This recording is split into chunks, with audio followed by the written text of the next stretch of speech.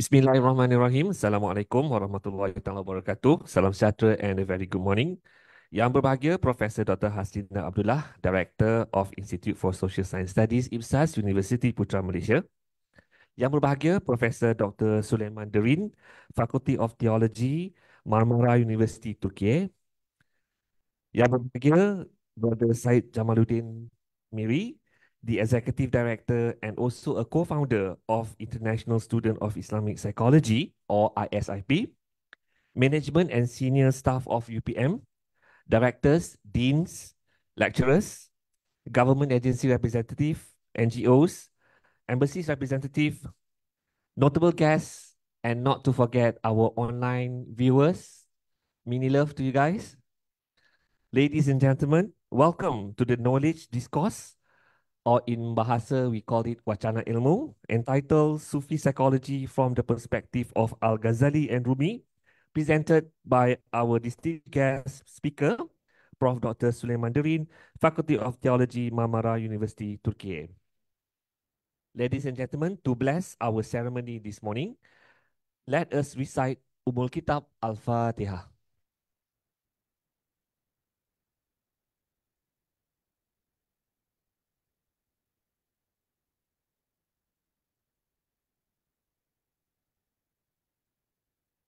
Amin, amin, ya rabbal alamin.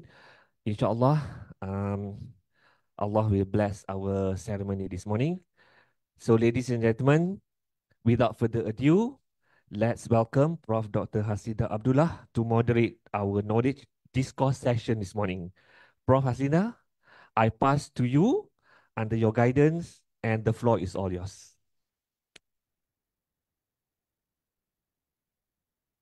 Okay, thank you, uh, Mr. Zai. Assalamualaikum warahmatullahi wabarakatuh and a very good morning, everyone. Um, so we are blessed here today, this morning, um, since our brothers, Pro Professor Dr. Suleyman is here with us. Um, it's a pleasure to be here today to delve into the intricate working of the human mind and explore the fascinating realms of psychology through Al-Ghazali and Rumi um, which will be presented by our esteemed professor, Dr. Professor Suleyman from Marmara University. I will uh, introduce a little bit uh, of uh, Professor Suleyman. Um, she, he, he is he graduated for, from Faculty of Theology, Marmara University. What uh, interests me is that his title, PhD title, is towards some paradigms on the Sufi conception of love. Um, unfortunately, the topic is not today, eh? about love is not today, but it's about Al-Ghazali and Rumi. Explores the various perspective on love within Sufism with special reference to psychology. And um, he also hosts a popular weekly radio program called Sufism and Human Psychology, which has been running for the past six years and the program serves as a platform to explore the intersection of Sufism and psychology. I mean, all this while, when we talk about Sufism, my, my mind is apart from the Sufi, the very pious uh, person and whatnot. And when I relate it to Turkish, I remember the dance. They call it Sufi dance. I, I, I don't know whether I'm right or not. Sama, yeah. Okay, so without further ado, we welcome Professor. Thank you very much. Professor Haslinda, I'm really happy to be here with my Malaysian brothers and sisters. I love Malaysia. It's a beautiful country, you know. And my connection started in 1995 with your uh, Minister of Religious Affairs, you know, uh, Ustaz uh, Muhammad Naim Mukhtar. So I know all the Malaysian food, all the shrimps you eat and everything. Um, yes, I forget some of it, of course. So uh, the, you know, psychology is interesting. Psychology means uh, the knowledge of soul. So when we translate into Arabic, ilmun nafs. But now they have omitted nafs, soul, from the equation. Now just they just say body and mind. we have body, we have mind. Where is the soul? trouble is they don't accept the soul nowadays, unfortunately. They say everything is happening in your brain or hormones, you know, that serotonin and other stuff make us happy or sad. And uh, now let me tell you a story from Rumi. I love mixing Rumi and Ghazali when I teach Sufism. Uh, as you're writing, sister, and an ant came back to its nest and said, I have seen today an in interesting instrument. It draws nice pictures, you know. It's called pen. It's beautiful. It's very nice. And another clever ant said, you know, it's not the pen it's, it writes. It is the hand which keeps the pen, you know. More clever and said, no, no, it's not the hand. It is the arm. Draws the pictures. Not the pen, not the hand. And of course, more clever person came and said, it is the head, the mind. So today in psychology, we have this problem, you know. Uh, there is J.B. Watson, cognitive therapist. He says, we are no different than the ox we slaughter. So we are in the same, we are with the apes and dogs and mice, you know. Unfortunately, today, it's very sad.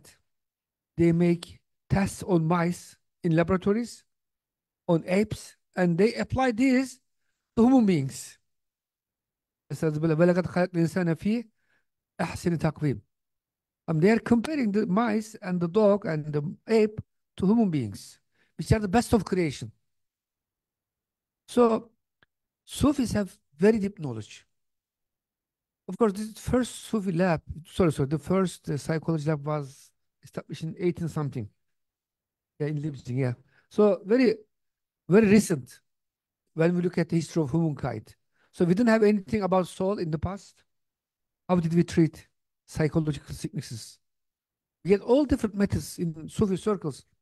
I recently uh, plan, uh, to write an article how to uh, cure narcissism from a Sufi perspective. You know, when you look at the modern psychology today, they say when you have a narcissist friend or spouse, just escape, don't turn back. There's no cure. Whereas in Sufism, we have cure for narcissist people. So Sufis and uh, Muslim scholars for centuries, they had information from the Holy Quran. Astagfirullah. يسألونك عن الروح قل الروح من أمر ربي وما أوتيتم من العلم إلا قليلا Allah says in the Holy Quran, you have been given very little knowledge concerning the soul. Therefore, today people reject it because they don't have enough information. They can't test, they can't touch the soul in the lab. So they say it doesn't exist. It exists. It exists, but not, uh, you know, in the material realm. It is in the, you know, uh, spiritual realm. So, Sufis, for centuries, almost a thousand years, they learned from the Quran and Sunnah. On top of that, they added their own observations in the Sufi lodges because they were training, they were making Sayyid Suluk in the Sufi lodge. So we have so much psychological information in books like Ihya Ulumuddin, Kimya Saadat, like books of uh, Jalaluddin Rumi. Uh, he wrote, you know, in uh, Persian. My friend Jamaluddin is, so he speaks very good Persian. So, you know, all these books have really are treasures that needs to be, you know, uh, investigated and studied. So where is my, yeah, okay, sorry. Nur, can you please share your bank account and everything, all your passwords? Thank you. Enable editing. Okay. So I have special interest in Ihya Ulumuddin. When I have read Ihya Ulumuddin, the third and fourth volume especially, my dear friends, the first two volumes are more about, you know, ilmihal, prayer, fasting, and uh, other things. But third and fourth volume are really psychological. Me and uh, a professor, Subandi from Jakarta, we have uh, written an article comparing DSM-5 with uh, vices, Razail of Al Ghazali. And we reached very interesting results. Like Ghazali mentions uh, 500 times anger, ghadab, and other connotations of the word. And DSM-5 is like around 600, very close numbers. Again, narcissism, kibir. So whatever is a sickness, a disorder, as term of razila, immoral uh, characteristic in Sufism, is also a psychological disorder. Because Islam is the religion of nature, fitra. Islam is a natural and logical religion. Whenever we say something is bad, it's really bad. Alhamdulillah, as Muslims, you know, uh, we are so lucky that uh, we can give the whole world uh, a lot of new and fresh information. For example, now they discuss the center of the our existence. Is it brain? Is it what? Is it or heart or soul? So Ghazali is using heart and soul synonymously.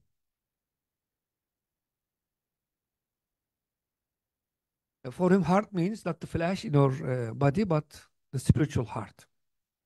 So, in his understanding, the heart, the soul, is the center of our existence, our personality, not our nafs amara, not, not our ego, not our brain, not our mind, but it is our, you know, uh, soul.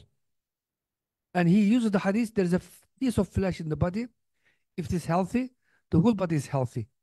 If it becomes unhealthy, the whole body get, gets unhealthy. That's the heart. Not the, of course, actually, this hadith is a miracle. It is true for physical as well as psychological, you know, physiological meaning. Because if someone is, has a problem with his or her heart, he has difficulty in his life.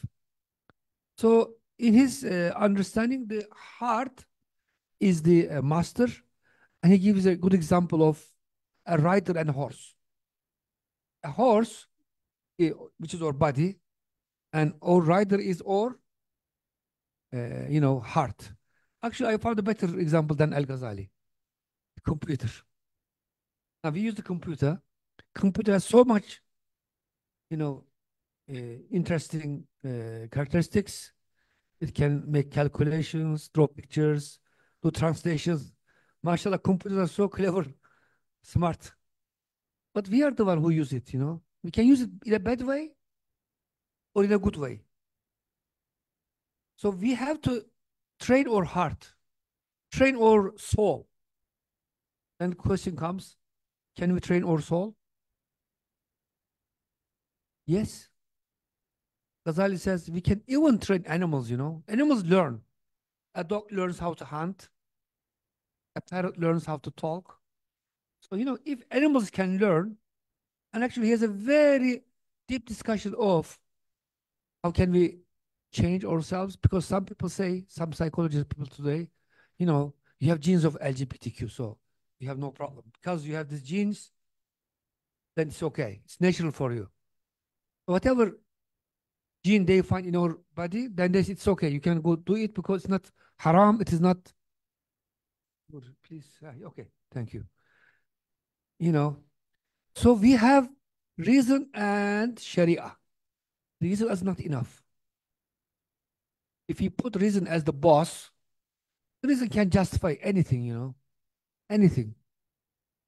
But Sharia is, alhamdulillah, as Muslim psychology people, we have easy uh, in terms of uh, saying this is good or bad. Like for LGBT, for example. Today, almost 99% psychology, people say it's okay. No problem. It's normal. It's natural. They even encourage it. They encourage gender transformation and, you know, operations and device. Unfortunately, they defend it. Actually, my dear friend uh, Hooman, you know Hooman Keshavarzi? I invited him. We have a family foundation in Istanbul fighting this LGBT stuff. The big movement all over the world. I don't know how strong they are in Malaysia. Maybe it's okay. You are better than us because we are close to Europe. everything comes first to us. You know, from Balkans, from Europe, every sickness comes to Turkey first. From Turkey, we send it to you. Unfortunately, so I invited him to our, uh, you know, family foundation, and he said, if I join you, they will cancel my diploma. Yes, in USA, in many Western countries today, you can't uh, give a therapy to a LGBT person because it's illegal. You like years ago, a friend of mine from UK, he said, I want to bring uh, like 50 homosexuals to Turkey to treat them in Turkey. Can you find me a place? I said, I can't find a place for such people, you know, because we have Quranic schools and nice places. He said, because if I give therapy in UK, it is uh, illegal. Giving a therapy to a, even they want it. They say, we want to change and we want to give up this sickness. You can't help them. It's illegal. So you see, why? Because they say it is, it is reasonable, it's logical to have this sickness. Alhamdulillah, we have Sharia. When we have difficulty, we look at the Quran, you know. So things change. I, unfortunately, the West became very relative, you know. Ustaz Malik Badri, you know, of him, he said 50 years before it was a crime in UK, in USA, and there were clinics they, who were treating, which were treating this sickness. Now, all of a sudden, it became uh, a crime. Now, uh, when I draw, there is no board here to draw. Never mind. I use the corner of this because I love it. Oh, can I write? Wow. I am amazed with the amount of technology in this country. First, these uh, rotating chairs uh, struck my attention. Can I take one to Istanbul? Bismillah.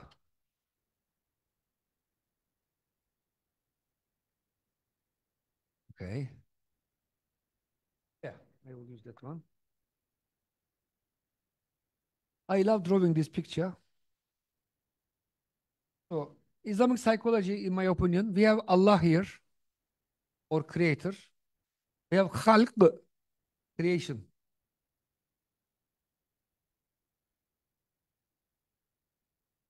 And we have ilmun nafs.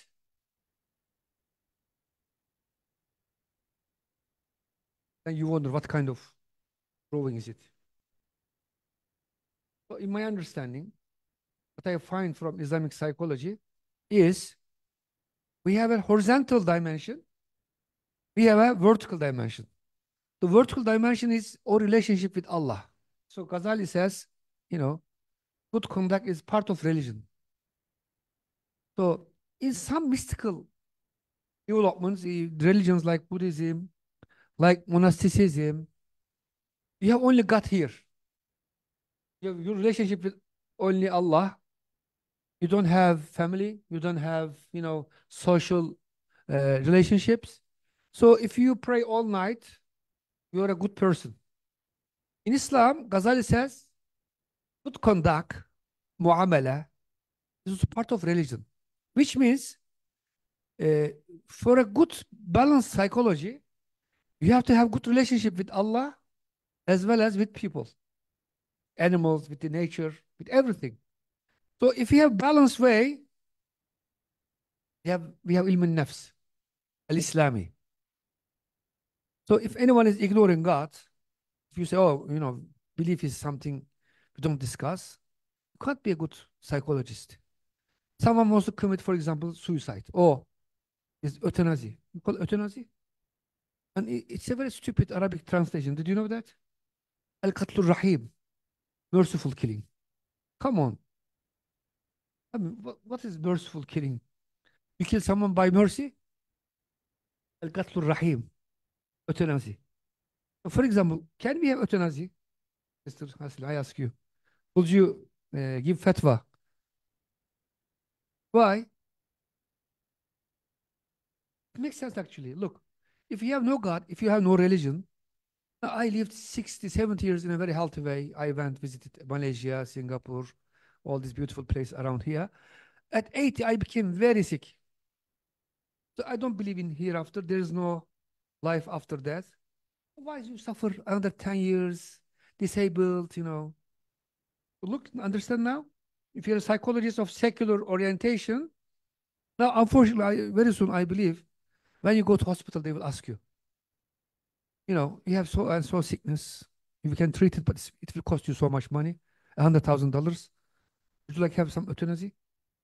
Free. Not here, of course, Malaysia, but in the West. Now, since Western countries, now they are discussing it. Now, now people want it because they are, they are right, actually. If you don't believe in God, why you suffer? But as Muslims, you know, every second is so important for us. We never think of death. Because when you say La ilaha illallah, it's you know so heavy.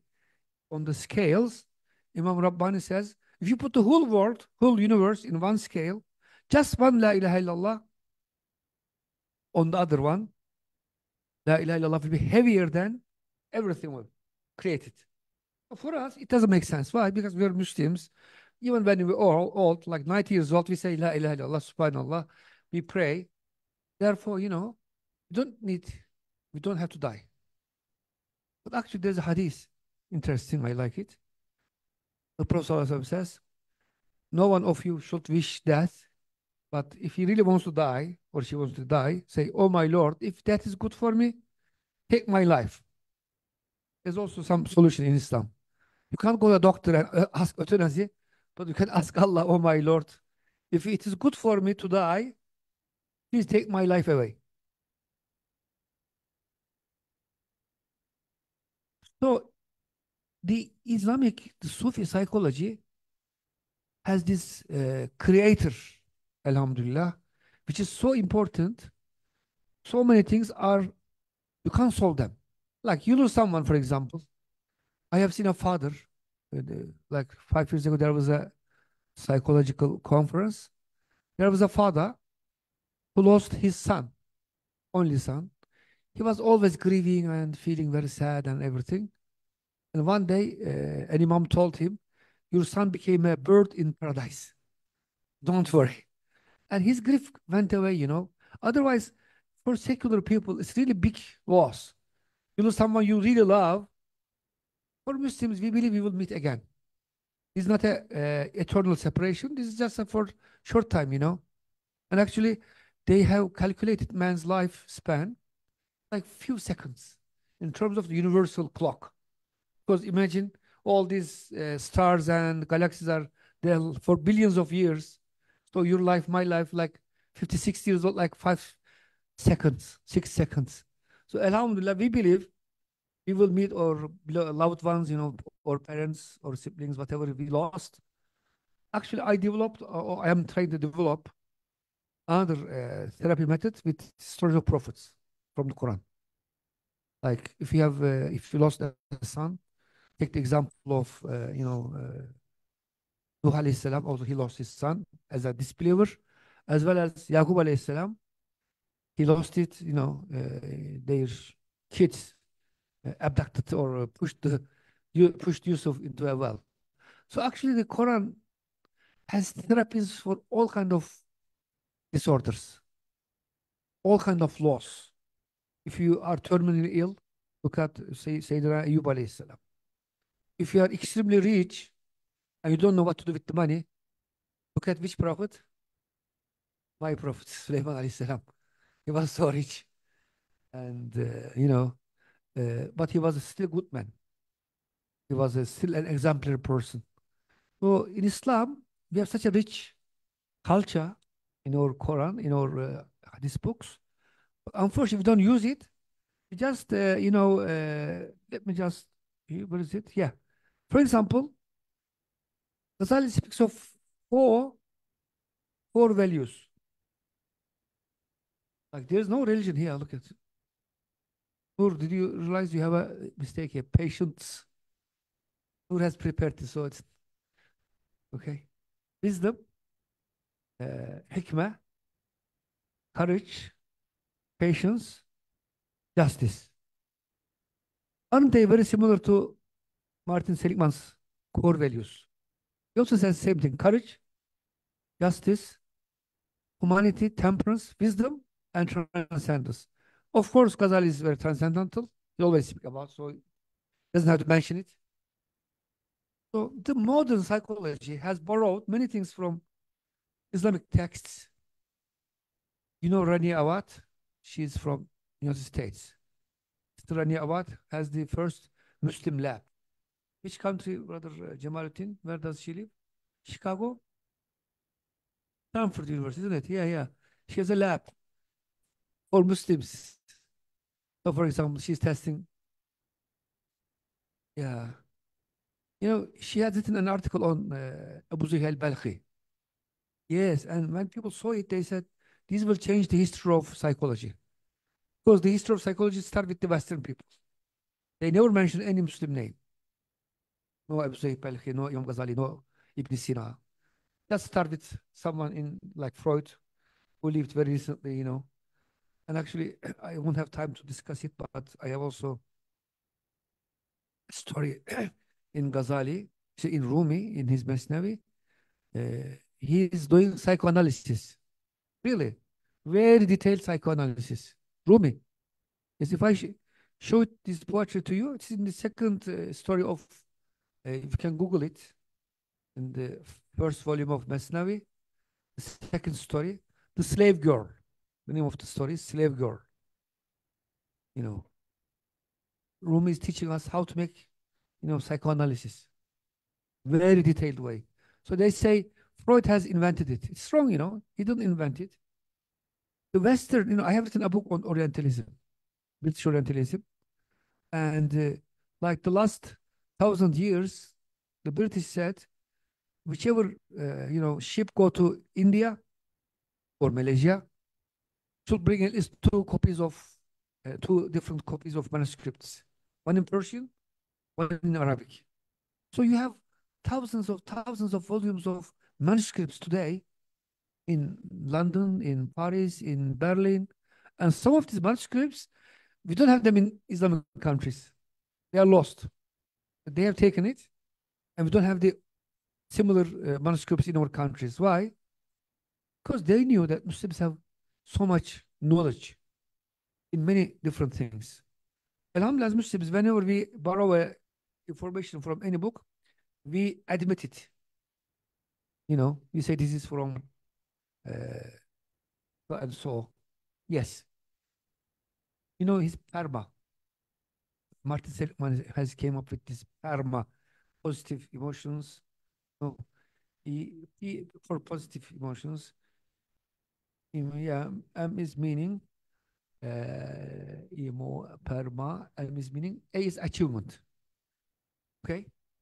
So I wonder why don't we produce such powerful paradigms ourselves? We have so much knowledge. When you look at history of psychology, it's all about Jews, you know. Freud was a Jew. Okay. Viktor Frankl, Abraham Maslow, Ibrahim Maslow, yani. So they always come up with these interesting things. Why? In my opinion, because of Judaism.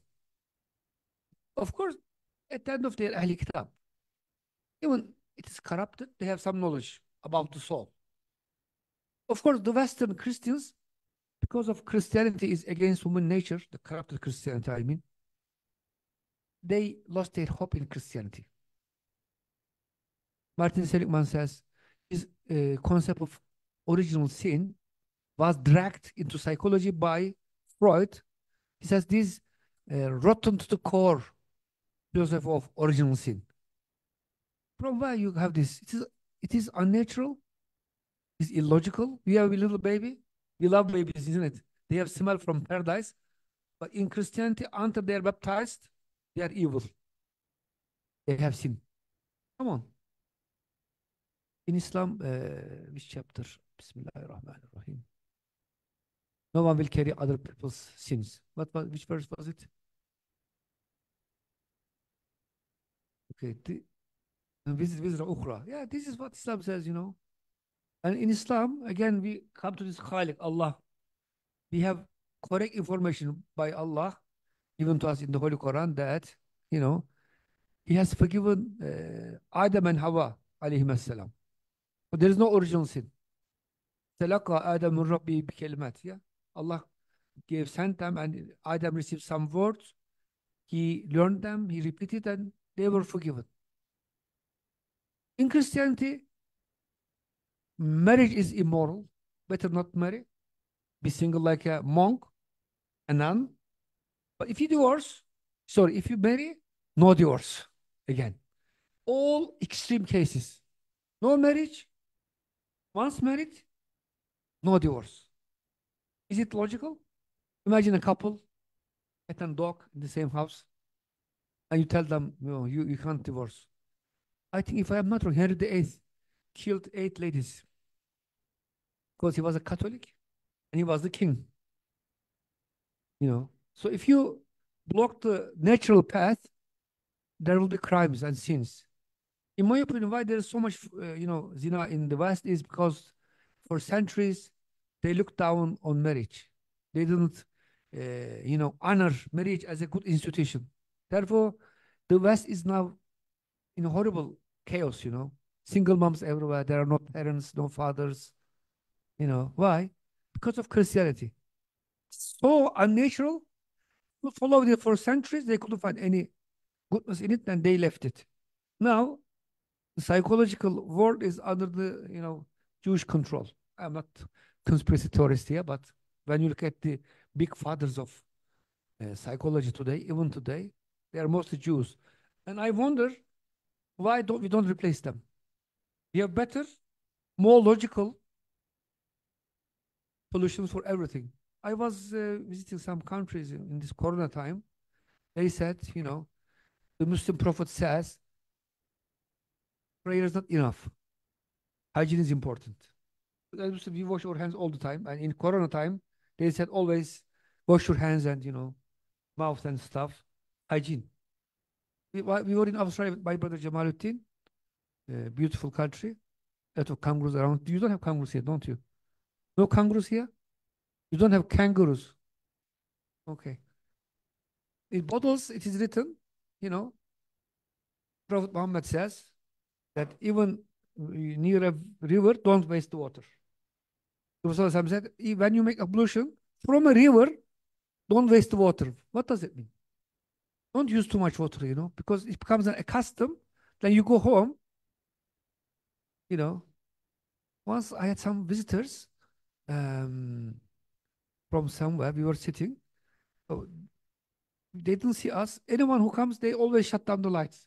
We open it, they shut down. Someone passing by because they don't see it from outside. They think there's no one inside.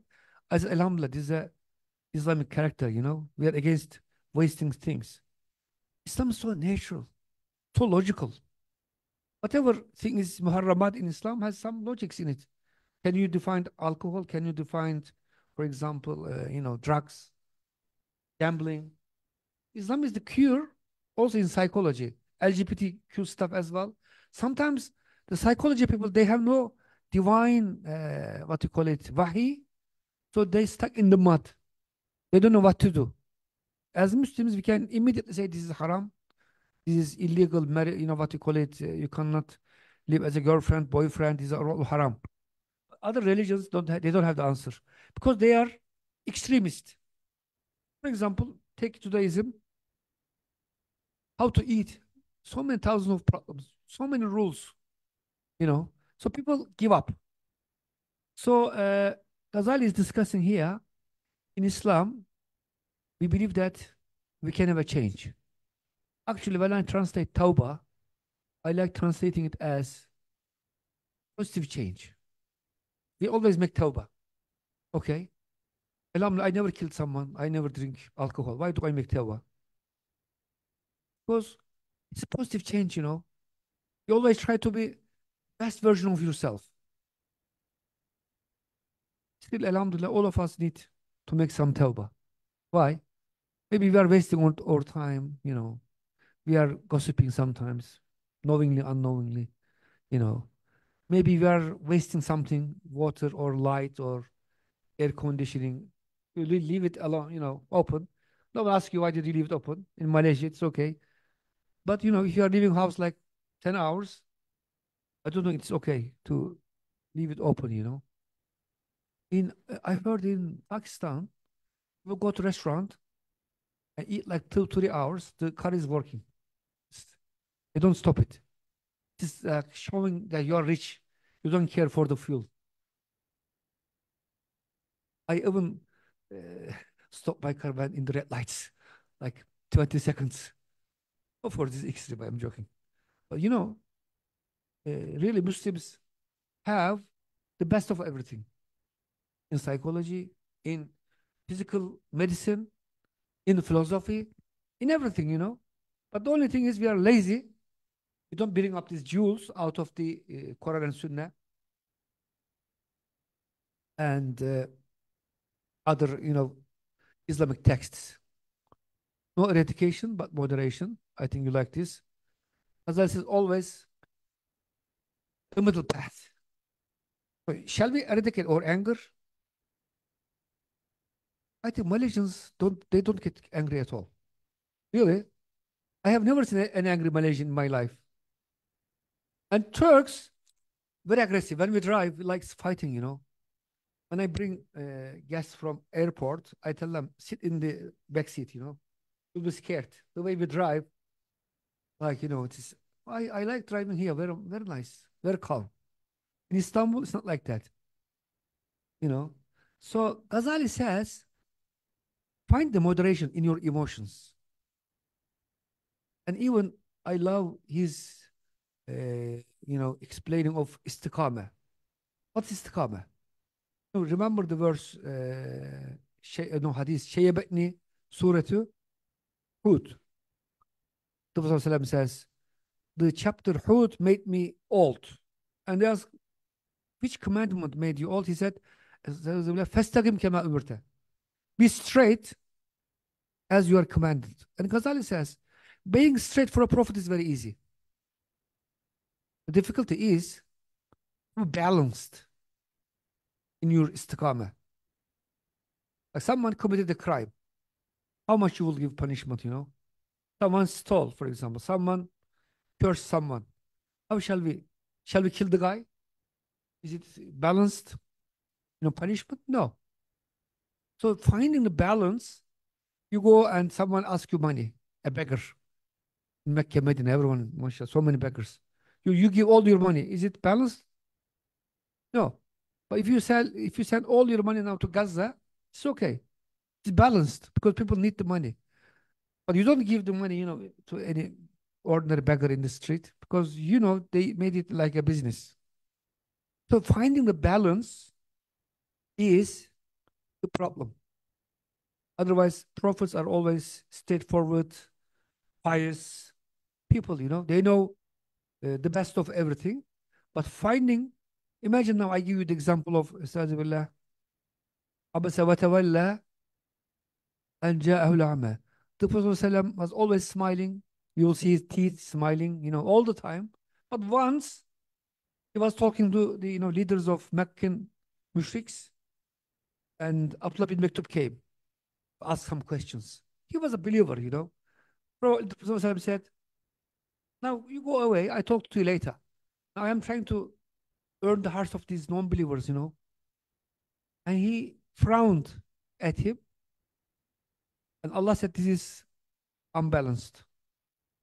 You shouldn't talk to mushriks. You should talk to this blind mu'min because he wants to learn something from you. So psychologically, I think if people come to us, some really want to learn, some really don't care. We should prioritize those who want to learn, for example. So, you know, uh, Ghazali always in, in his uh, vices and uh, Raza'il and Fada'il, he defends the middle path in our emotions. What he says, someone is made angry and he doesn't become angry, he's a donkey. He says from Imam Shafi. Yes, he says, Imam Shafi, you have been forced to be angry. Yeah, like someone attacking your family. And you don't get angry. It's bad. He says, you must be angry and defend your country. Like the people in Gaza now, mashallah. You know. So anger, whatever emotion was given to us, it's necessary. For example, greed. Do we need greed? I think we need, but not in the material sense, in spiritual sense, you know. So benefiting others, all the time. It's a greed, kind of, but it's a spiritual greed. We need anger. We need love. We need hate. We need all these emotions. But Ghazali is teaching us how to find the, and actually I love this example, eat and drink. I had a friend, he was very fat, like 150 kilos, you know, very large, mashallah. I told him, Ahmed, why don't you stop eating? He loved eating. He said, I am following the commandment of the Holy Quran. I said, what's this? He says, Kulu washrabu. I said, can you uh, go on a little bit? He said, I am not Hafiz the Quran. I don't know the rest of the verse. ولا تسرفوا. As well as in our emotions, in our actions, we need to find, the, you know, uh, the middle path. I love this. Like when we have someone to, uh, you know, uh, give therapy, he says the first, the manner of the four class. First people, the first class of people, they don't distinguish between truth and falsehood. When you teach them, they will learn. They will accept it. Like many people in the West today, they don't know why alcohol is bad.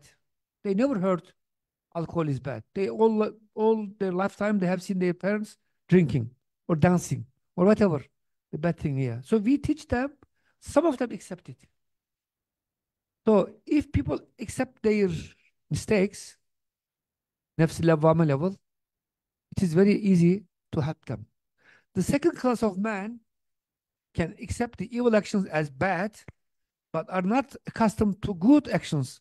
So some people, they know good is good, bad is bad. But they, they're not accustomed to good things, you know.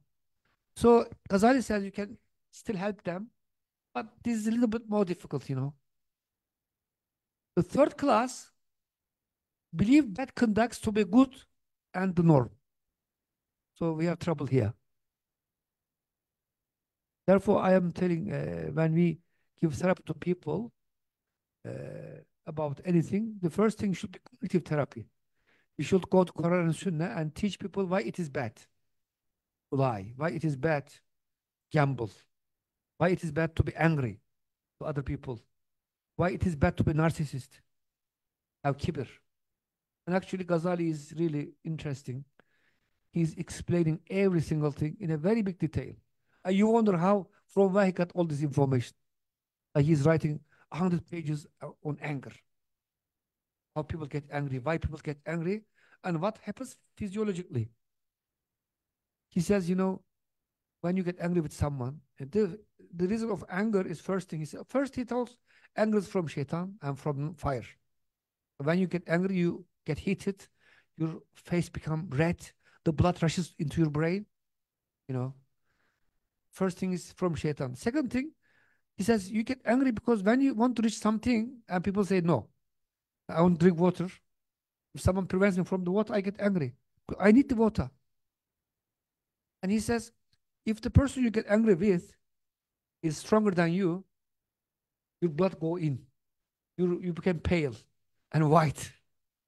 But if the person is equal or less than you, then blood rushes into your, your brain and face and you become reddish and fight.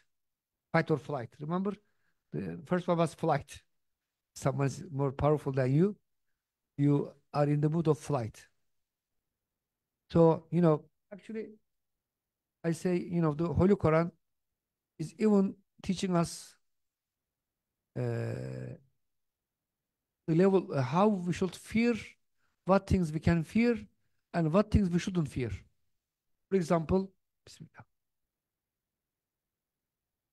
Musa alayhi salam, when Allah said, Astagfirullah, ما في يمينك يا موسى قال هي عصاي أتوكل عليها وأهش بها على غنمي ولي فيها مآرب أخرى When Allah Almighty asked Musa, what is in your right hand? He was trying to teach him something. Of course, Allah, uh, Musa he loved to talk to Allah. He, this is the, okay, 9 to 1, thank you. We are here.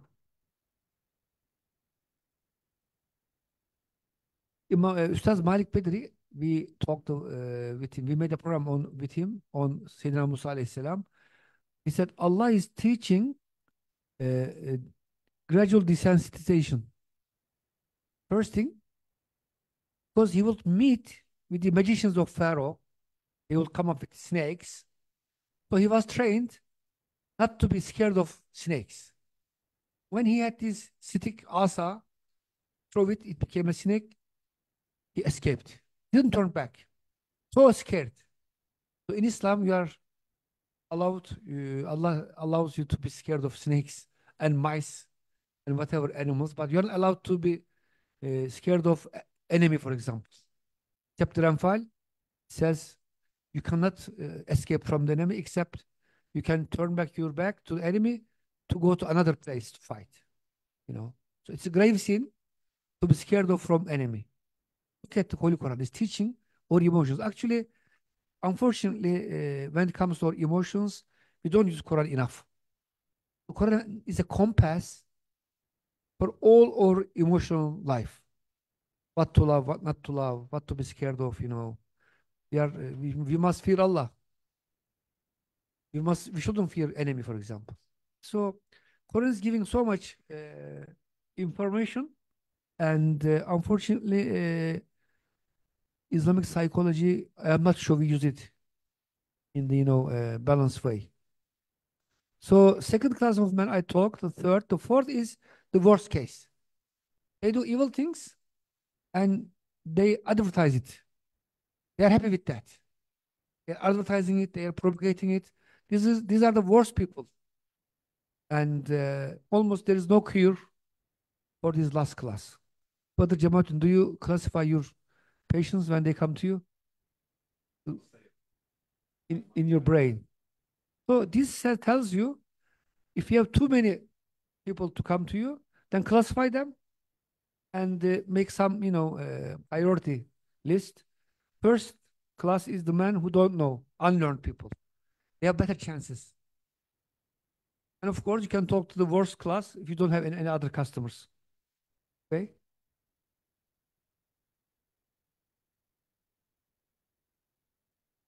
Okay.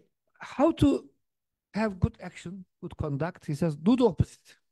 Whatever, you, know, you don't want to spend money, spend it for your friends. Be courageous. Okay, you are scared of fighting and stuff. I was joking. Join a gang. Learn. No, no, don't join a gang. No, they are teaching. I have seen a lot of documentaries in UK. They are training horses. The horses are scared of sound, you know, gun sound and fire. But they train them. Even you shoot at them, they were not scared of it. Desensitized all the time. They see fire. They jump over fire. They, uh, you know, uh, open fire, the other things with guns, and they're accustomed to it. You can, you want to scare of a horse, a police horse in UK or in Turkey, in Malaysia. They're not scared of your voice or shouting or gun. They're accustomed to it, you know. So always do the opposite of uh, whatever emotion you want to have the balance. It says as we treat heat with cold, someone has fever. What mothers do? I do it as well. We have these, uh, you know, uh, some handkerchief and uh, apply it to the forehead. So the heat go away. Similar thing. So I think this is interesting. I don't know if psychology they do it. I doubt it. They mostly justify their bad conduct, you know. Okay, you can do it, you know, as long as you don't harm others. Keep doing it. If it is making you happy, you know. So, of course, in Islam, alhamdulillah, we don't have this. Ghazali is really uh, talking about nature and nurture. Uh, I would like to talk about, for example, nature. He's making a very good analysis of nature. I hope I can find it. No. He says man has four vices in his constitution. Al-Bahimiyya, the animal desires. Al-Subu'iyya, the aggressive desires. I'm going back. Shaitaniya, the deceptive inclinations. And Rububiyya, kibir, you know, monopolizing other people's wealth and, uh, you know, uh, showing narcissism. When we look at Freud, Freud found the first one and he became very famous worldwide. He said, man has two motivations, sexual and aggressive drives. That's it. Just because of this, he became so famous. He became the father of like psychology. But Ghazali said, like a thousand years before him, Ghazali died, as you know, 11, 11. If I'm not wrong, Freud 19 something, 1930 or something. Not too long. When Freud died? 19 something, yeah, yeah. So, so 800, 800 years before, Ghazali gave very detailed, very detailed uh, analysis of man's motivations, you know. Behemia, even he said, you know, the first thing we do when we are born is uh, feeding. You know, our muscles are so strong. It's unbelievable. You know, in the mother's womb, the mouth doesn't work at all, but they are so powerful muscles. You know, the baby immediately, you know, uh, sucks his or mother. So this is our behemi aspect. Ghazali says, after a while, the child learns how to be angry. Like the child doesn't become angry, of course. The first, I don't know, four or five months, the baby is okay. Then it starts getting angry, you know, when you don't rush to his need. Of course, I have, mashallah, five boys. I have a video here. If I show you, I, you will have really mercy on me. The last three boys, everyone has something to hit each other. Everyone hitting each other, you know. They get angry with each other, you know. Oh, oh, out of nowhere, you know. God, anger. Of course, we needed anger, you know. Shaitania is deception. You deceive people, you know. Shaitan was the first deceiver. He told, you know, Adam, you know, I, shall I tell you something, a secret between you and me? If you eat this tree, you'll be eternal. Adam, alayhi salam, never knew that someone would lie. Because he was in paradise. Whatever someone tells you, it is true. No one told that lie so far. Some Mufassir say like this. Therefore, immediately believed. And they ate the tree. So this is cheating is in our nature, you know. When you ask the child who broke the glass, I didn't do it. You know. I catch my kids playing games in computer. When I, you know, look at them from aside, they say we are studying daddy. But they are not. They're playing games or watching video or something. When they turn their back a little bit, it is definitely playing games, you know. And Rububiyyah is the worst one, he says. Narcissism. As I said, narcissism is the, the worst sickness in psychology, even today. It's very difficult to cure the narcissist people, you know. And Ghazali has given very detailed, very long chapters on these four vices. And he says everyone is tested with some of them or mixture of them. So every evil characteristic is mixture of these, you know, uh, vices. So some people are really very, you know, behemi. They want to eat and drink all day. And Ghazali says some people even, uh, you know, sell their country for a halwa. You know, this uh, betraying their countries. And some people have aggr aggression problem. They always get angry, you know, unlike Malaysians. And uh, some people are tested by their, you know, you're especially a tujjar, businessman. Very easy to make money out of lying, you know. Just one lie can bring you millions of dollars. There is some very little lying, you know. And uh, if I am not wrong, Alhamdulillah, Indonesia became Muslim because of good uh, Yemeni, you know, businessmen or tujjar or whatever, sailors. They came and made business with Indonesia, maybe even Malaysia, isn't it? Because no Muslim armies came here. No Muslim armies came here to Malaysia. No Abbasi, no Umayyads armies arrived in. No, because you're so far away. Yeah. There are no there were no planes those days, you know. So, you know, decepting, narcissism, Ghazali is really giving very good analysis of our nature. And I, I have five boys. The first one is very halim. You know, you take his water, he will cry. The second one is so aggressive. I take his water, he hits me, he attacks me, you know, fights me all the time. Same parent, same house, same food, but nature is so different. You know, so all my boys are all different. MashaAllah. But also nurture is important. if you're feeding them all the time with some meat, in Islam, our Prophet says, don't eat too much meat, you know. Eating too much meat is not very good. It makes you like aggressive.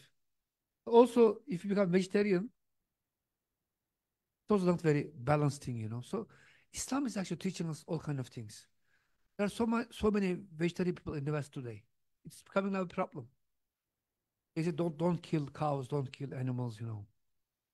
In Turkey, we have a stupid lobby. Nur knows very well. We have dogs everywhere. Dogs come and eat you, but no problem. You can't hit them. Can't harm them, but if they harm you, it's okay. Newspaper says so and so entered the dog's habitat. Come on. Is always not dogs, you know. So look at the psychology of people nowadays.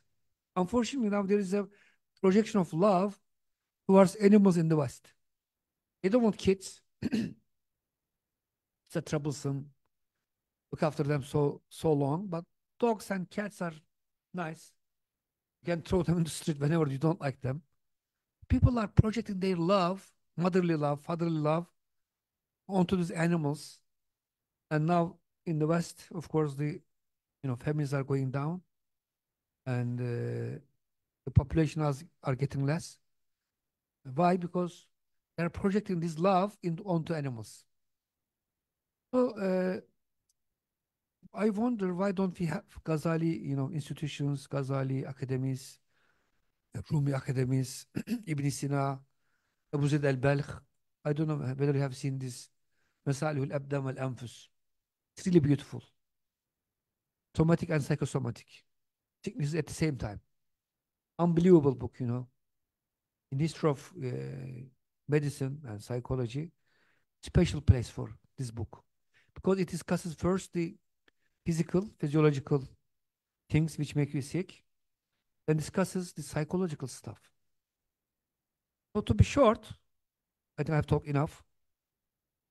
Rumi, Ghazali has so many beautiful things to offer the psychological world. Uh, inshallah, uh, countries like Malaysia, uh, you know, should lead in uh, Islamic psychology. I know that Ustaz Malik Badri was here for some time. 20 years? Very long, isn't it? Yeah, yeah. And last, his last three years, we were together in Istanbul. we started a project with him.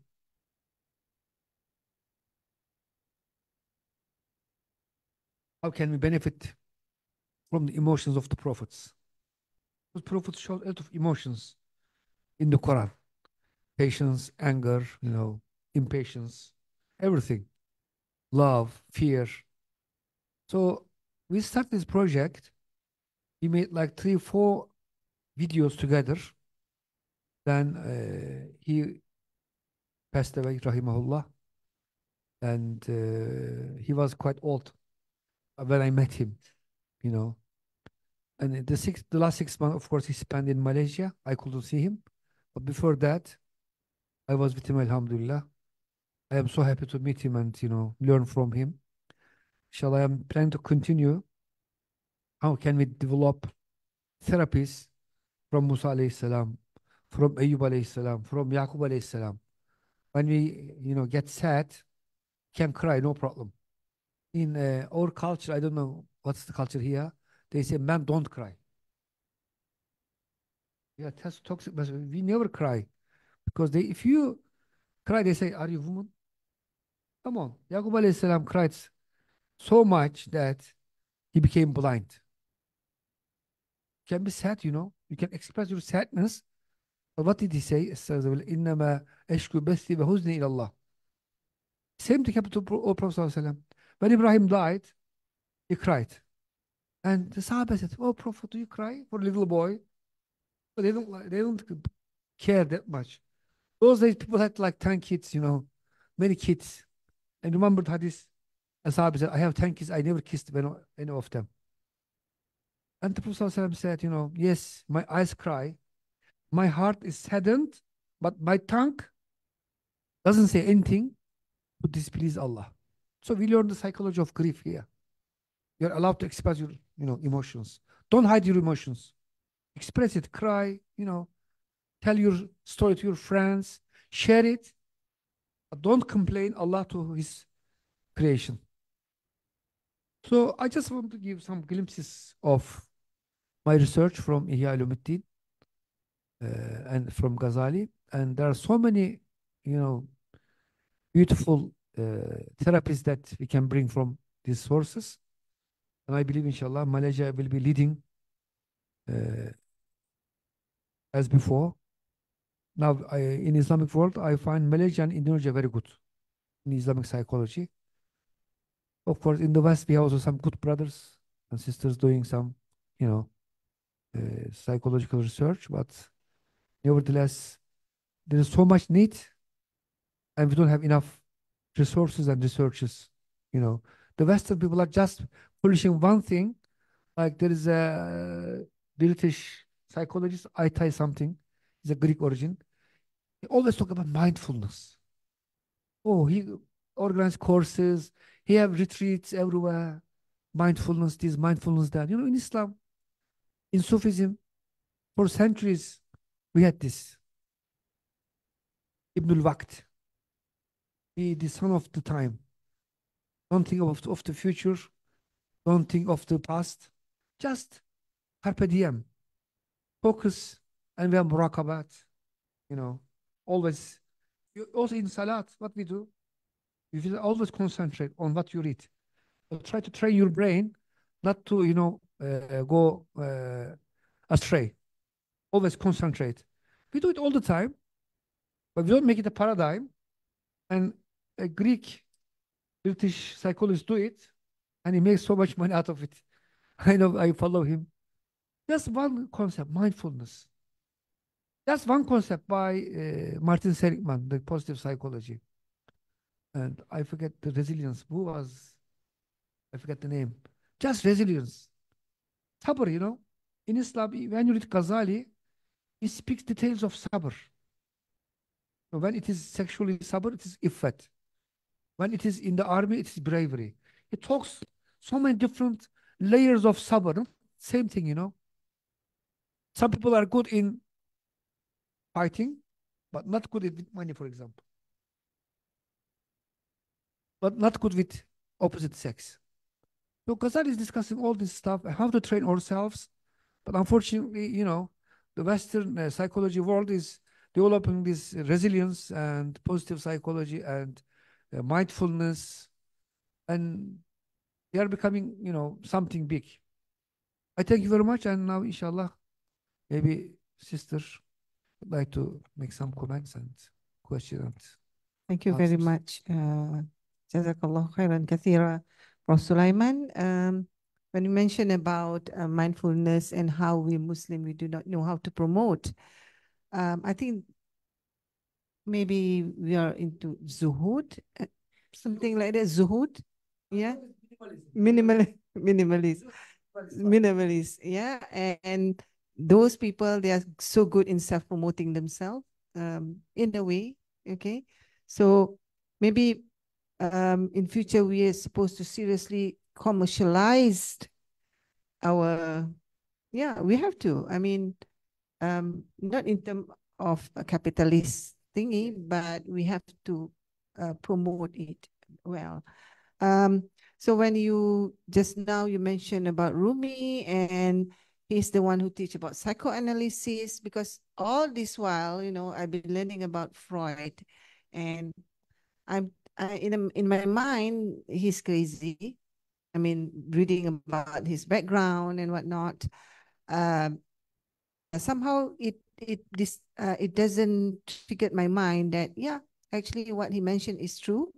That we have that sexual needs, we have that anger, we have that um, uh, um, in Greeks what we call the eros and thanatos in in Freud uh, terms concept.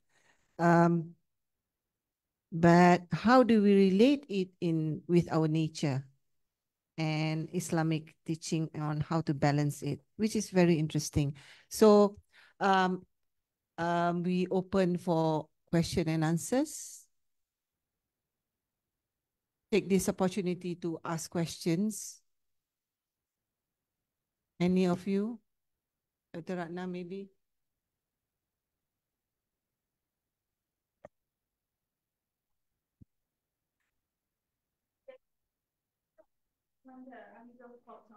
Muslim psychologists. Yeah, I think maybe they still can't detach themselves in terms of try to decolonize their mind from yeah from being colonized, but especially by Western epistemology, because it's actually it's a a, a responsibility for Muslims, psycho Muslim psychologists, to detach themselves, try to decolonize from the Western epistemology, particularly particularly in this discipline of knowledge, psychology.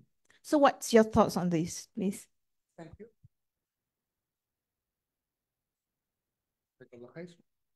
I I got back to my this drawing. You know, uh, ontology is here. We are creation of Allah. Allah created us, so we need uh, you know His commandments. And uh, when it comes to you know uh, learning about how to worship and stuff or emotions, this field is close to you know Western and any other foreign uh, culture because we only learn from Quran and Sunnah. But here, yes, we should decolonize, but we should also learn from anyone. Because some said, the hikmah is lost property of a believer. Even if he's in China, take it. Actually, this is hadith again a miracle because Chinese are very good in now inventing things, you know. We buy everything from China, isn't it? Sorry? I, I recently about the Chinese car, Chery. I don't want to make advertisement. So even hadith has so many, mashallah. Whatever the Prophet says, it comes true.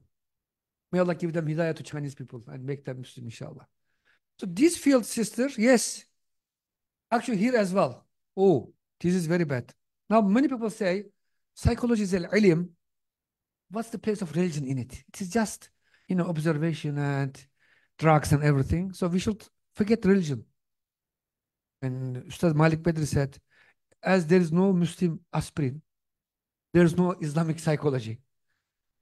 This is big, big false in my understanding because uh, nafs is from Allah. وَنَفَخْتُ فِيهِ مِنْ رُوحِ Ruh is from Allah. So this thing we only learn from Quran. This part, we should decolonize most of the information, wrong, false information we receive from the West on nature of man, aggressive, and as I said, sexual. Yes, we have this, but we can't control them, you know. An animal cannot control. An, an animal is uh, hungry, it's every, anything, you know. So we are different animals. We can control our desires and urges. I think, as you said, we should decolonize Freud and any other harmful psychologist from our uh, epistemology. And we must develop our own epistemology, which is Quran Sunnah, plus observation, plus test, you know. But we cannot say we don't need Quran and Sunnah. But there are times our brain cannot solve the problem. Like, as I give the example, LGBT in the West today, they came to a point, they said this is logical. Why? Because we have these genes, these inclinations in our brain. I was giving this theta healing. Have you heard about theta healing?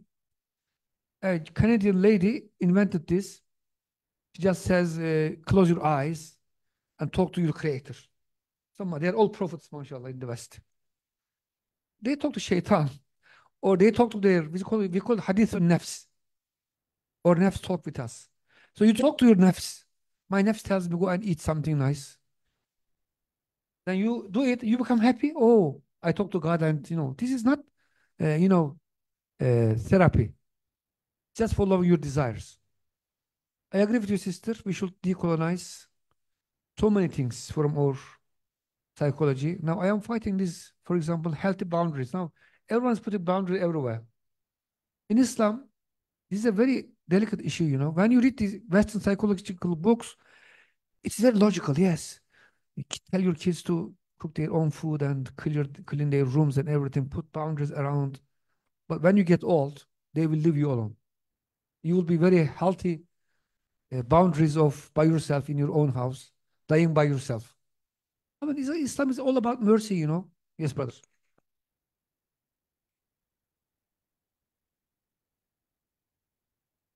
Bismillah ar-Rahman ar-Rahim. I just wanted to add a reflection on what Hojam and Professor Suleyman Derin said and taught us, mashallah. Thank you, Professor, for your amazing lecture. Thank you, Professor Haslinda, for opening up this place for us. Uh, the... Thank you, Allah subhanahu wa ta'ala, for this. Now I woke up. Allahu Akbar. Please forgive me.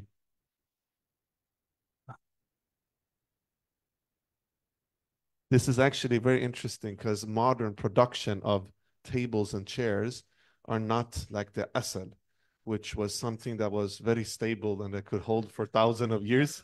You know, so this is psychology of chairs and production. When industrialization, uh, industrialization and mass production comes over, then things break very easily. Uh, actually, uh, one of my teachers, Dr. Omar, he mentioned to me that Ibn Arabi said that uh, Allah subhanahu wa ta'ala gave uh, wisdom into the mind of the Greeks, into the uh, tongue of the Arabs, and into the hands of the Chinese. So the Chinese were very known for building beautiful things with their hands and craftsmanship. Uh, please forgive me, brother uh, Ustad, for I will clean this up later. Um, I just wanted to reflect upon decoloniality because decoloniality is very important, very important. Uh, but it shouldn't be an ideology, it's a tool. Because what has happened with decoloniality today is almost like some people make it into ideology, and this is only the aim we have. But we need to also understand what do we want with decoloniality? What is the aim of decoloniality? And the aim should be to reconnect with fitra and to revive Islamic thought. Because Frantz Fanon, which is one of the great decolonial thinkers, I'm sure you have read his book, you know, the black skin, white masks, or the wretched of the earth. He was an amazing scholar, but he was not spiritual. He didn't believe in Tawheed. And uh, there is a great Iranian sociologist, I'm sure you have heard about him, uh, Ali Shariati. Uh, Ali Shariati actually uh, sends a letter to Frantz Fanon saying to him, I love what you're doing, but you have lost one thing only. There's one point you are not reaching to the transcendental level, equally to Abraham Maslow or Ibrahim Maslow, He said, Hoja, Ibrahim, we're Islamicizing all these scholars' names. Uh, he never comes beyond the nafs. So his transcendental doesn't take you away from the ego. So he doesn't take us full stop, right? Uh, the same goes with Frantz Fanon and Ali Shariati says to him, in order to get uh, human to their fullest potential, even after we have achieved the decolonial project, we need Tawheed, right? So uh, what I have noticed in decolonial movements, and I, I'm very interested in it, I think it's very important. I am very interested in decolonial psychology. I think Frantz Fanon's work are very important for us as Muslims to understand, is that it still doesn't bring us to the fullest picture.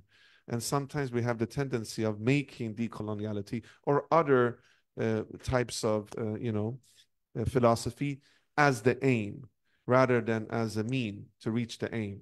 And the aim should be to reconnect with fitra because uh, also with the coloniality, if we don't do it properly, can also come things as a result which will take us astray from Allah subhanahu wa ta'ala, which also Hojam is referring to with normalization of liberal ideologies, uh, secular ideologies, etc. Uh, in the end, we as Muslims, we're not against white people, for instance. We, are re we reflect upon whiteness as something that is a social product, which could be something that can create a race hierarchy and racial hierarchies. Of course, we are against these type of notions, but we also know that many of the great scholars of the past and in our presence uh, are white and are, you know, uh, Anglo-Saxon. Uh, we also have learned from the past that if we don't deal with our uh, oppression in a healthy way, that we actually release the oppression so that it doesn't become frozen, then the oppressed can become the oppressor as well. And that's why the prophetic model is that, you know, as, as much as possible, while you're doing jihad al-dunya, also do the jihad al-nafs. So when uh, Allah subhanahu wa ta'ala gave fath to the Prophet sallallahu when he came into Mecca, he didn't go and uh, start to oppress his counterparts who oppressed him and his companions. Rather, Allah gave an avenue for them to do tawbah and they were forgiven. So I think that the complexity here is very important. Obviously, as you guys are from Nusantara, which is a place was which was colonized by the Dutch and by the by the British, we need to decolonize. For instance, reconnect to our traditional scripts and Jawi, right, which was written in Arabic. You know, when a person, they say that uh, when you take away the language of a person, you take away the person's identity and psychology. This is what we have seen in Turkey uh, when Latinification of the language became a part of uh, the way of uh, you know understanding and learning. The same we've seen in Caucasian countries and also here in Nusantara. This is decolonization, but then the aim should be Tawheed and Fitra.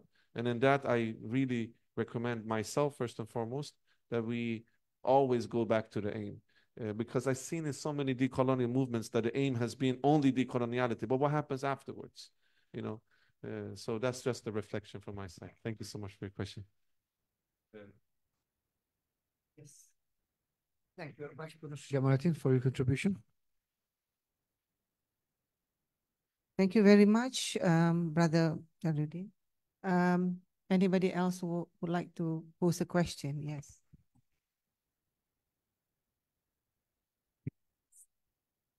Bismillahirrahmanirrahim. Um, terima Prof. Linda. Uh, Jazakallah khair, uh, Prof. Suleyman for the enlightening uh, talk. Yeah. Well, uh, actually, I was looking forward uh, since the the topic for your talk this morning, given by the organizer, saying that you might compare Al Ghazali and Rumi. Yeah. So I'm looking forward uh, to hear more about Rumi. Yeah. Um, in fact, I think uh, it happens in most of the, our students, I'm from UKM, uh, they they focus more on Al-Ghazali, especially on the Ihya Ulumuddin, uh, compared to Rumi. Yeah. Um, I don't know why. Is it because of it's it's a bit uh, difficult to understand Rumi? Uh, probably it's because of its deep spiritual to understand compared to uh, Al-Ghazali, which is I think more to fiqh muamalah and so on, which something practiced, I mean, practical us for, for us in Malaysia. Um, but I went to Konya once with my friends, yeah, and I watched the uh, the Sama, and it really uh, inspiring. Since I'm a creative writer as well, so I wrote a few uh, short stories about this uh, setting. Um, I I personally feel that it's very uh, purifying, you know, uh, when we were there, watching the movements and the focus by the dancers. So I hope that, I wish that my students in UKM also, they will study more on Rumi, uh, since we have few theses uh, written about or inspired by Al-Ghazali, you know. Um, in fact, I read one book uh, by Brother Hamza. Uh, you, yeah, uh, Hamza, Hamza Yusuf, yeah, the purifying of the heart. Yeah, I think he focused more on Al-Ghazali as, as well. Yeah, um, I don't know why. Yeah, exactly. Yeah. Exactly. Yeah, yeah, yeah. It's very interesting book, right? Yeah. Uh, you talk about heart disease as well as the solutions. Yeah. So I'm looking forward as well. Might probably Prof. Suleyman might write a book uh, regarding to that kind of topics uh, regarding to Rumi's uh, perspective. Thank you very much. Thank you. Uh, the reason why Ghazali is studied so much is Ghazali is very clear and uh, you know very organized. Uh, everything is there. You don't have to have too much headache to understand him. But Rumi is a poet. He writes everything everywhere. Like for example, he made commander of the Quran, almost one third of the Quran. So I myself now writing a book, almost finished. I have uh, collected all the translations and commentaries of the Quran and made a tafsir of him, Haqa'iq al-Quran, by him. He didn't write the tafsir, but he has tafsir everywhere. So he has psychology everywhere. And the good thing, he give the message through stories. Let me just one example because I didn't talk enough about Rumi. A young man from Kazvin in Iran. You know, in Kazvin, there was a custom that wrestlers had tattoos on their shoulders, you know, to even look powerful and more stronger, you know. A young man, he was not a wrestler, but he, he wanted to seem like a wrestler, came to a tattoo shop. Said, no, can you make me a lion? And the tattoo maker said, what kind of, you know, lion? Said, a roaring lion, a fierce lion, you know. Said, okay, sit down. Get, you know, pins. And, you know, they inject the pins and uh, inject the ink under the skin. That's how they do. Tattoo, of course, it's haram in Islam, by the way. Don't try it. It's just for sake of giving a lesson, you know. When the man started, the tattoo maker, a tattoo artist started making the lion, the young man screamed, What are you doing, uncle? You are killing me. He said, Son, you said, You want a lion? I started with the tail, you know. Said, Can you do it without, without the tail, please? I don't want the tail. It's so painful. It's hurting so much. You are killing me. I said, Okay. Maybe he said, Let me make the you know, half of the body, the upper half. He pricked the needle again. The young man again, you know, jumped to his feet. What are you doing? You are killing me. But look, son, you ask a lion, I am doing it. So which part you are doing now? I am doing the belly. Do it without the belly, you know. I don't want the belly as well. But okay, sit down. This time again, same thing happened. What are you doing? He said, I am doing the ear. He said, please don't make the ear. Tattoo artist was very angry with this young man. He said, go away from my shop. Allah never created a lion without a tail, without a belly, without an ear. So he's giving the lesson, you know. You ask something for, you must pay the price. You must be resilient, you know. Have some psychologists say, these self-development people say, just think some, about something that will happen to you. Everything, every day I think I am very rich, I am very rich. The last 20 I think I am rich. It doesn't happen. They all kind of psychological manipulation and stuff. Rumi has so many stories. Uh, one thing is very beautiful about narcissism. There was a lover and beloved. The lover came and knocked the door, said, and the beloved uh, asked from inside, who is it? He said, it is me. She said, there's no place for two persons in this room. So small room, go away. And the lover went away. After a year of lamenting and being sad, came back, knocked the door again. She asked, who is it? And he said, it is you. So if you are not two and two person, one body, or you know, uh, in the house, there is no marriage. You know, you and me, always separation creates problems in the marriage, for example. So so many beautiful stories. Uh, Alhamdulillah, I'm trying now to collect these stories. Uh, I use them in my class, and they really make students uh, very eager to learn about Rumi.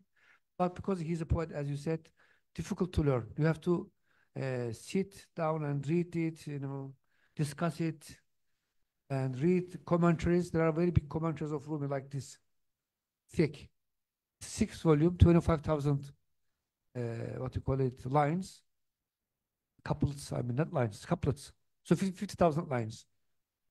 On top of that, we have Diwan. So it needs a lot of courage and, you know, time and dedication. Thank you. Now, Another two questions. Um, first one from Sana Norain. Any specific dhikr to muraqabah that can help with regulating negative emotions? That is one. Another one by Sister Nurlaila. Assalamualaikum, Prof. I am Laila Tul, a student res researching the concept of divine love through Rumi's text, Fihi Ma Fihi. If you don't mind, could you share how Rumi's psychological views on the women, for instance, involve the role of women in life? So this is very important. Women, love, and then the other one is zikir. Actually, in muraqabah, yes, we try to control our thinking and our thoughts. Now, Nur and we are studying together contemplation in Buddhism. They are very well known for controlling their brain and thoughts, which is not true. They say like just watch your thoughts like clouds going and don't intervene, don't defend yourself, let them pass, kind of things. In Islam, actually, when you read uh, books like Ghazali, uh, like Ibn Jawzi, he really has beautiful theories, just like Khatir comes to your mind first time as a thought. Of course, in Islam, the thoughts might come from shaitan. فَأَلْهَمَهَا فُجُورَهَا The modern psychology doesn't know about it. They don't believe in shaitan. Something comes from shaitan, they think it's natural. Oh, it came to my mind, it is natural. No. It might be satanic thought, it might be angelic thought, it might come from your nafs. And when we were discussing, you know, this with Ustaz Malik Badri, he gave the example. Sometimes you have dreams. Like you are fasting, you are so thirsty, and in your dream you are having ice cream. Is it shaitanic? No, it is nefsani.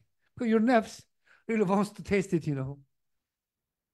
But you find yourself naked and, you know, people make mock of you, mock you. And this is from shaitan.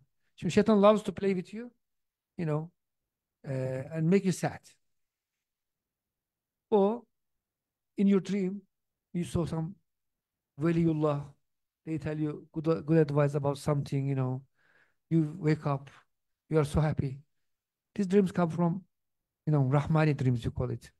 So like thoughts are like this. In Islam, we know the map of the thoughts coming from where. And uh, for example, uh, you know, Ibn Jawzi says, when you have a khatir, don't follow it. If you follow it, it becomes like an irada, a will. Then it becomes an action, and you repeat action, it becomes a habit. Beautiful, you know, you can, so if you want to, if you don't want to, like, let's say, some bad habit to occur, don't follow it in the first place. You follow khatir. It becomes will. You follow your will, it becomes action, and after it becomes a habit, very difficult to correct it, you know, to choose it. So don't go bad places, for example. If you are going to a pub and try to contemplate about good things, can you do that? You must go to masjid, you know. What's the, you doing in the first place? Yes. Yeah, there's something else, but you know, for positive influence, you choose your good friends, you know, you have good circle of friends. These are important, you know. Thank you. Ah, zikr. Oh, I love zikir. Wow, wow. Zikir is really to control your brain. You must fill the gaps. You shouldn't let your brain become free to do whatever it likes. So what Sufis do? I forget my super today. Oh, no, yeah, mashallah. Alhamdulillah. I thought I forget it. So when you're in the car, you know, pushing around, say Allah, Allah, la ilaha illallah. So don't let your brain wander around and stray and oh look at this oh beautiful picture there. You know, there is something oh, yeah, good pictures here. But in Istanbul, unfortunately, they are putting all these naked women around, all these advertisements, you know, and they are doing it on purpose. You open your internet, all underwear. Are people always buying underwear? I think they are doing it on purpose, just to make our brains think of, you know, all this bad stuff.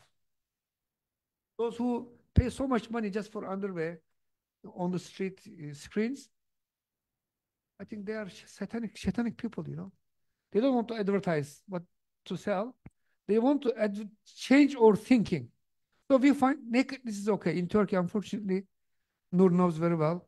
When you drive your car, all these, you know, big boards, billboards.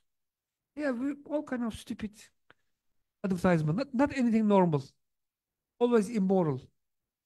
So they're trying to control your brain. So when you say Allah, Allah, La ilaha illallah, Allahumma salli Muhammad, you are uh, not letting your brain.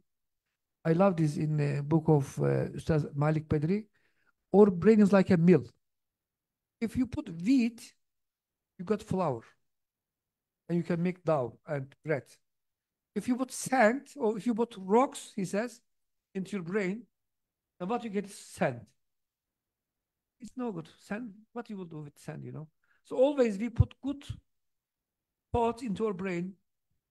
When you say Rahman, Ya Rahim, you understand mercy of Allah. Then you contemplate about good things. So zikr is a precautionary action for ibadat, first thing. But forget about this ibadat. What's the benefit of psychological stuff? It's a precautionary action to prevent to prevent your brain to go and wander and have uh, bad stuff, you know. So zikr is very important. So Sufis always tell you, as Imam Shafi said, I think, if you don't make your nafs engage with haq, it will engage you with batil. That's the, you know, important thing in zikr. Yes, please. Divine love needs another lecture. Yes, divi- divine love needs another lecture, isn't it? We have also slides here in this computer. Don't worry. But it's a really long thing. Uh, for Rumi, love is the center of everything. Allah created us in love, so we must worship Him in love. Uh, the center of all relationship with other people also love, not hate. Look, there are so many Islam movements today. Daesh. Well, because you have glasses, bidah, chop off it. You know, so sad. They were killing people, Allahu Akbar, and they push up people and kill him. So when people here in Azan in the West, they think some people killing some other people. So they all hate. So when they say kill someone, this Daesh, shoot someone, kill someone, they say Allahu Akbar. So then you hear Azan, what do you think? A Western person. Oh, some Muslims are killing some people somewhere. Look, what's this? This hate. This a lot of you know Islamic movements today.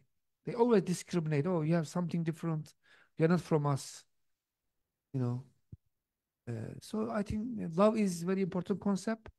And concerning women, Ibn Arabi and Mevlana has a similar philosophy. In the beauty of woman you love, it is the beauty of Allah. Allah is manifesting. So a Gnostic, because the Prophet says. And one is women. But women, we love it in a spiritual way. That's what he says.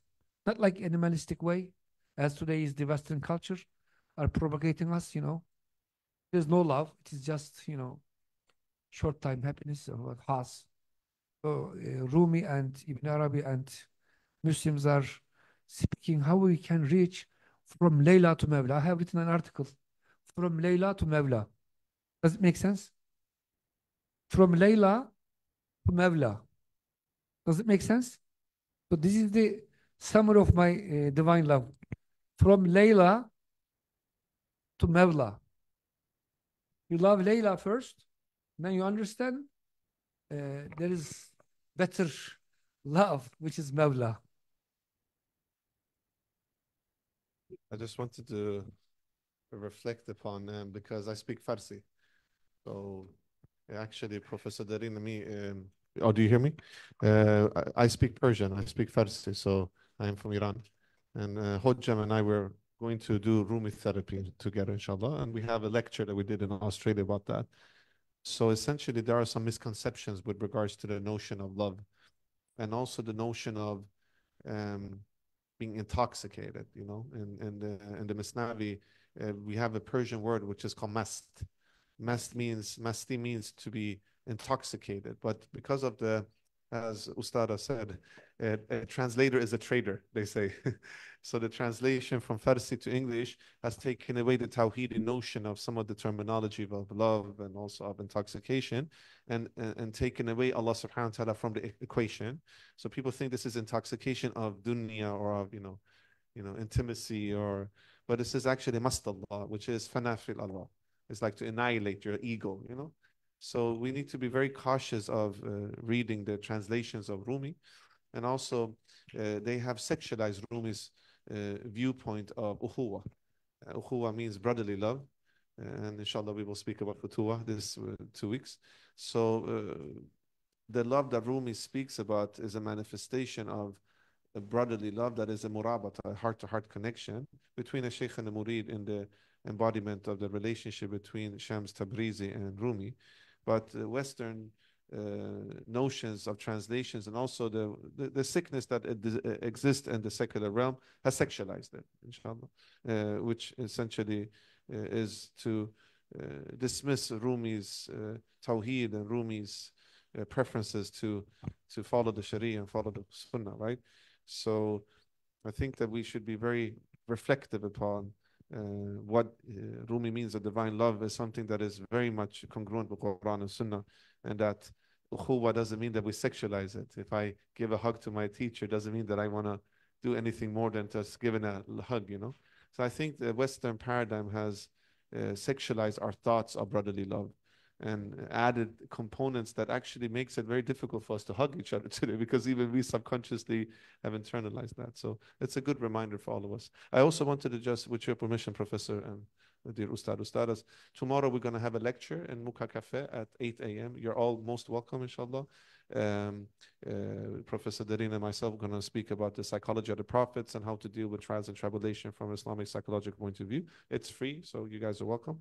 I have a QR code here to our WhatsApp group and ISIP, the International Students of Islamic Psychology. I'm going to pass my phone and you scan it and uh, join our group and you will get more information, inshallah.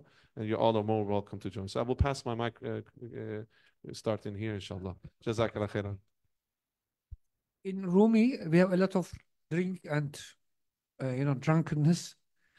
But I will read a poetry from Ibn Farid. شربنا على ذكر الحبيب مدامة وسكرنا بها من قبل أن يخلق الكرم. Understand, Professor?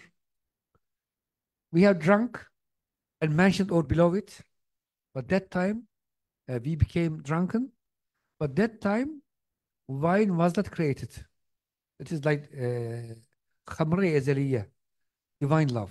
So always Sufis talk about drinking alcohol, but it is metaphorical. It is uh, love, uh, you know, drunkenness in divine love. And when British invaded uh, India, they read Sufi books and they found all this masti and stuff. And they said, look, we are also Sufis. We drink alcohol and we become drunk, you know. They thought these are all, uh, you know, real sense, but it's all metaphorical. So love is the very center of Rumi, unlike Ghazali. Ghazali, I think, uh, justice, you know, I don't know, uh, knowledge are the center of his philosophy or psychology.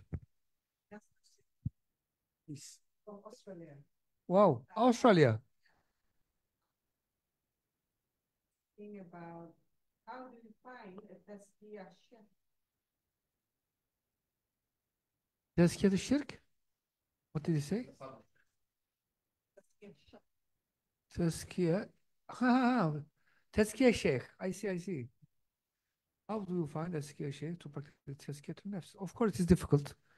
You know, you will ask your friends, how, when you are sick, before you are okay, you never ask, like, oh, let's say uh, a, a, brain doctor. Why? Because if you're okay, healthy, but once you get to have some problem in your brain or in your ears, then you start asking people, you know, do you know someone who knows this and that very well? And you look at the products as well. Imagine a doctor always killing his sick people. You never go for operation, you know.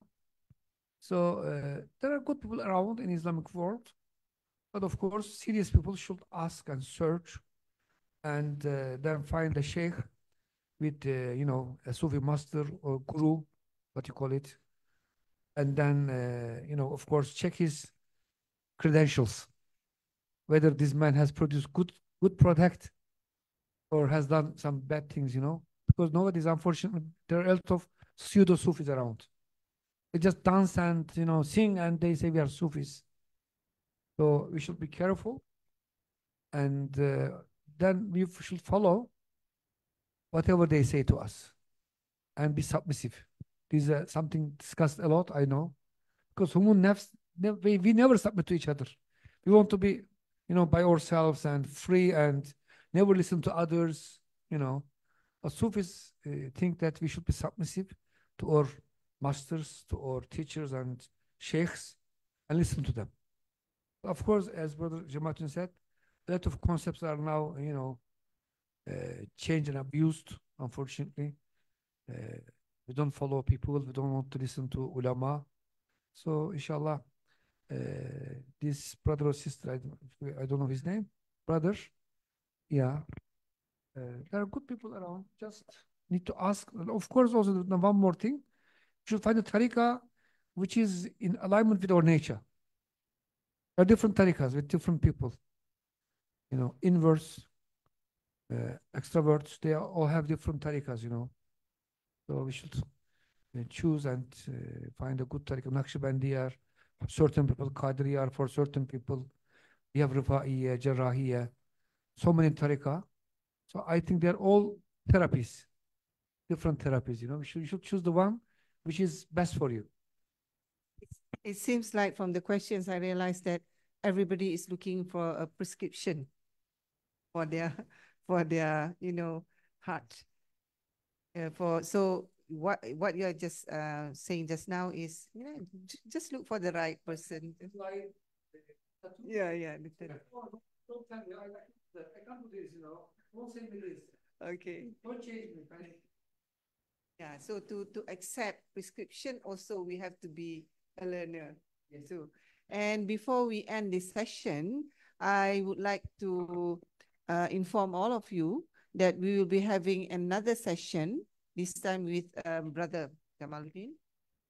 Uh, on the 1st of August, this, this time the topic is very interesting. This one is interesting. This another one is interesting too, which is from from being a boy. Uh, so from boys to men from psychological point of view. Okay, so I think this topic is very much needed, especially um, now. You know, I've been saying that um, one of my student, my PhD student is saying to me, um, he's a Nigerian, okay? And there are other brothers, um, Malaysian brothers too. And he told me, why I cannot find men in here?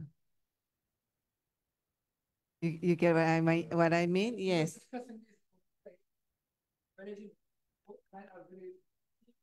Lazy or busy? One of them. I believe they are busy. Working hard. Okay.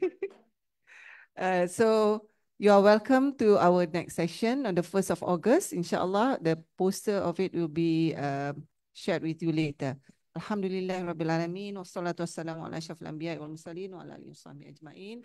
Thank you very much, uh, Prof. Uh, Sulaiman and all of uh, all of our um, fellow friends.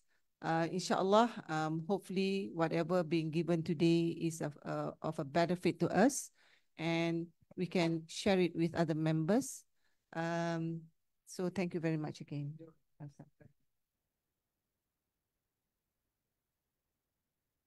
Thank you very much, Prof. Uh, Haslinda, and of course to the guest speaker as well, Prof. Suleyman. Next, we're going to have a uh, presentation of souvenirs. And with that, I would like to call upon Prof. Haslinda again uh, to present the souvenirs to Prof. Suleyman.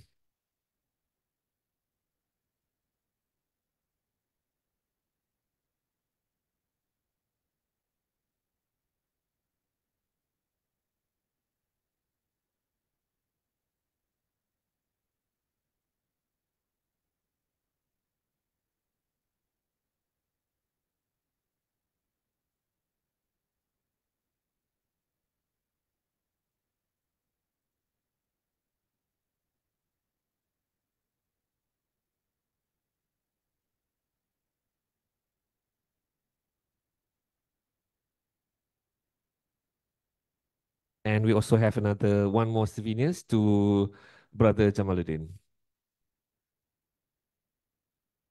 Please.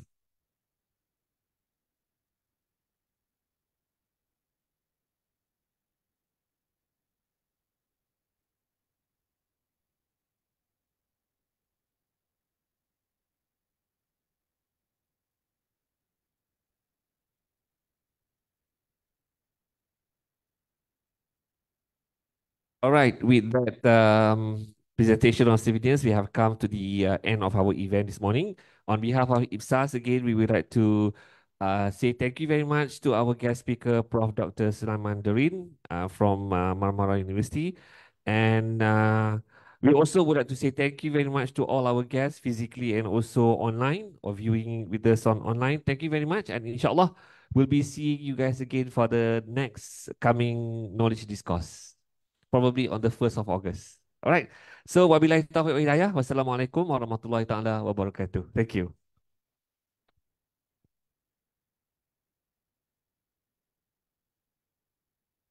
We're going to have a uh, photo session outside, inshallah.